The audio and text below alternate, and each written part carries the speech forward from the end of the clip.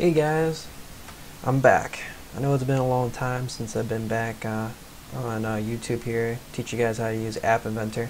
Uh, but quite frankly, I've been having a lot on my plate lately and just haven't been able to get around to it. But I'm back. I got some free time finally after uh, going to school and work and well everything. So I'm gonna throw up a couple new videos here on uh, App Inventor. And one of the ones I've been repeatedly been getting axed over and over again is um, where I left off on the Amazon um, ad uh, uh, ads you can put on there. And uh, quite frankly, the best one you could do was AdMob, but uh, you really weren't weren't able or to actually um, uh, I want to say legally, but like you know through their contract of using uh, Google Ads, you weren't actually allowed to use a Google ad. You actually had to use AdMob, which was not allowed on App Inventor and still isn't. But um, through some digging that I did recently, which I knew this was out for a while, but it was just really hard to use and operate, and there wasn't a host server, and a bunch of other things, and it just didn't work smooth. So I just never really came around to actually putting a video on it. But uh, when I came back and I kind of uh, dug into it, because uh, when I went back to look into YouTube, saw a lot of comments about it. I said, oh, "What the heck? Might as well go back and uh, see if uh, if it was updated." And uh, to my surprise, and I found out that it actually is updated and actually does work very well. Um, it's I don't know if it was created by this guy, but um, it's on his blog, and basically it's AI Live Complete it's a uh, software. You might have seen his video online, but he's not very descriptive of uh, you know how it really works or operates. So I'm going to kind of go over the basics and exactly what it is. Uh, to what I understand, basically they took the software, the APK, and SDK that they got from MIT App Inventor, which is a free software.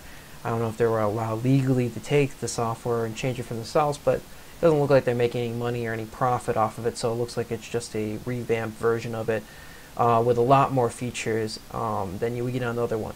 Now, I would highly recommend using um, actual App Inventor from MIT. I feel a lot safer using it. They have a term of agreements and servers, and they won't sell you things, and blah blah blah.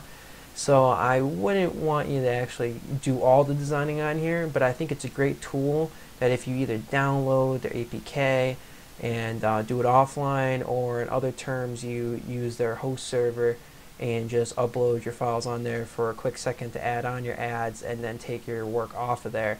Um, I think it's a great tool in that respect, and I don't think anything's really going to be lost in the long run with that. So with that being said, um, basically where I found it was at this blog. I'll go ahead and uh, throw the link down there for you, uh, which then kind of you know kind of goes an overview of it. a little bit hard to understand him, um, but uh, all in all, it seems like a you know, pretty interesting thing. It's exactly the same, just got more features built into on the sidebar that we saw on the old App Inventor. So now we're going to go ahead and uh, basically I follow through the links and like I said it's kind of hard. It takes you here and then it shoots you over to this right here which is um, a uh, another website, well Google Docs, not really a website, and basically you know directions and what it can do and stuff like that. And you know it's got more features for uh, you know uh, AdMob, Ad Amazon full screen interface, MobFox, a lot of other monetizing apps on there that they built into here. Some toggle buttons, horizon, uh, horizontal and vertical scroll view. So a bunch of different little things that they put in here. But um, it, you know, all in all, it, it's very cool. Um, I just don't know a lot about it to fully trust it, but at the same time, you know, I think it is worth to trust it. I mean, besides doing my way at Amazon, which is, you know, it works, but it's it's a pain in the butt. Let's be honest. The guy's got to go in there and then buy the product for you to even make a commission off of it. And really, you think anybody's really gonna, you know, buy product off of Amazon and uh, do it all on their phone on a small screen like that? I don't think so. So, um, you know, you can make a few bucks here and there, but, you know, where the real money is, is them actually clicking on an ad from an AdMob within an app and then shooting them over to a website. So, uh, go ahead, you're to click on here, blah, blah. You, I'm to give you the I'm to give you the blog, you can get to here, and then I'm also going to give you just straight to the host server, um, which you log on like you would with App Inventor. And um, Let's go. That this is where you can download. I'll put this link down here. You can download it and actually have it on your own computer and actually use it offline. I think originally it was called App Inventor Offline, and that's where people actually you know start taking APK and SDK and actually turning it around and actually uh, you know putting in their own type of uh, little niches into the actual program. So now here you go, and, and right here, right off the bat, you can tell that this is something you don't see on um, App Inventor uh, 2.0. You, you, don't, you don't see a monetizing um, thing right now. Uh, selection here, toolbar. I mean, look, you get add Amazon, add Amazon, International, uh, AdMob, uh, M Media. I don't even know what these are. Mobfox. I'll, I'll look them up and I'll definitely look into you know what their percentage is for clicking on them. But um, I really know I think the the most commonly used one and the one I know that's on basically everything is AdMob. So. Uh, and, and, it's very simple. I'm gonna go into all these other things. I'm gonna you know do multiple videos on all the other tools that they got going on here. Um, you know, gallery viewer. I don't remember seeing that on the last one. Toggle. I think that that was added on later. Um, VSV arrangement. I, am guessing um, you can use your finger to actually move images across. Like I said, I'm, I'm going to get into all this uh, in other videos and kind of really work through them. Um, if you see anything here that you actually want to uh, you know, add in yourself, just let uh, you know, they want me to actually go in full depth, just let me know in the comments. I'll definitely go into it. So we've got proximity sensor, I don't remember that, sound sensor, temperature, uh, temperature sensor. Um, uh, invisible component measures temperature on the device in Celsius. Well, I mean, I knew phones had temperature sensors, but I mean, apparently this actually logs into it and actually can tell you the temperature. Because um, the phone actually does record temperature, not ambient temperature. It records the phone's temperature. Um, that's for safety reasons. That way, if the phone, for some reason, starts you know processing way too much, or, it can you know turn off kind of like a BIOS on a computer. It gets too hot, turns it off. But uh, um, I didn't know you can actually read that. I thought that was something you know deep inside the system that you weren't allowed to see. But apparently you can. Uh, proximity sensor. Once again, I'm guessing that's the one on your, your head of your phone you got your sound sensor. I'm just kind of like listing up things that here that I knew that I, I haven't seen before on the last one. And it looks like everything on here. I don't think I remember seeing a,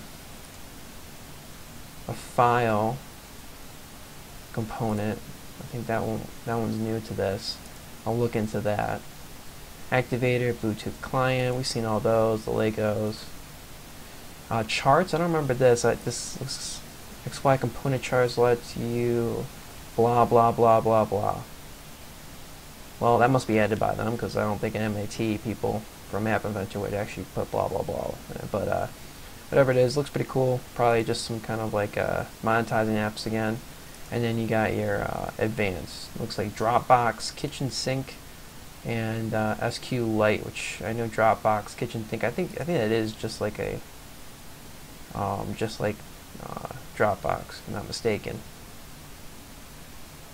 And SQ SQLite.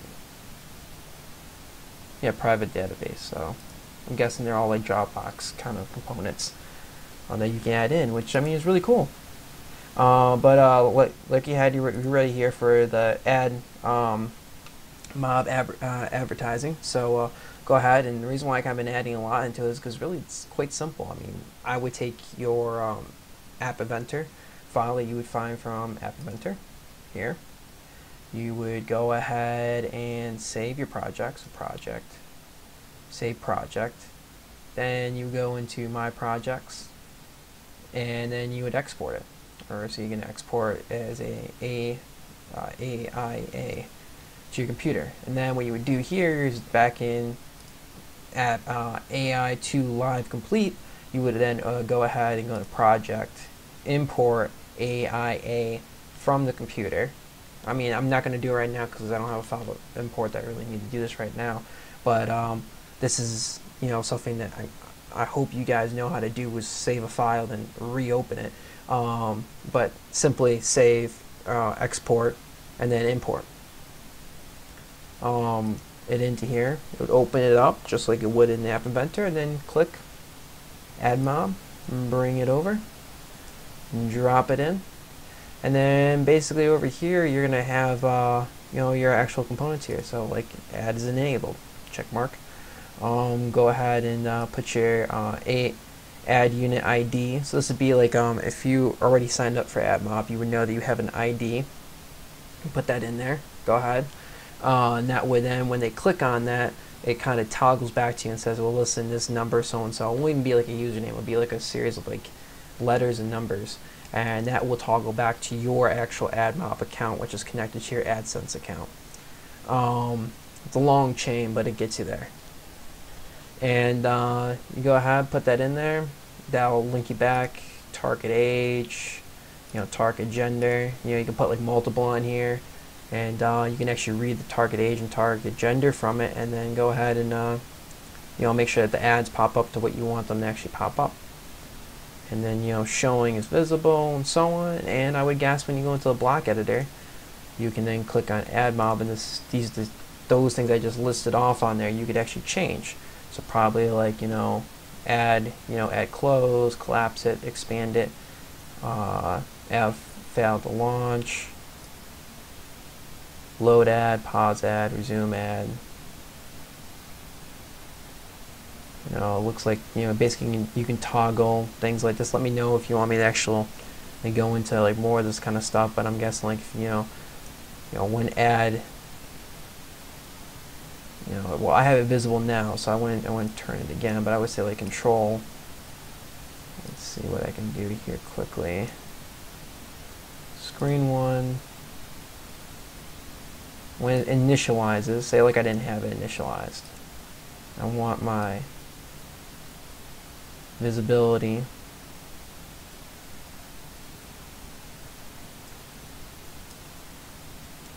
You know here and then I'll go to logic and then I make it true so now you know if I didn't already have it enabled I would have it enabled now and then I can go in here and then I could you know change the you know gender you know like you know I don't know, picks up on a phone and, you know, some girls on it, you know, and uh, you, you figure, you know, uh, you do some type of uh, initial thing when you do, let's say like a, a, Facebook or a Twitter or some type of thing that, you know, has to do with that, and you say, well, you know, what, what gender are you?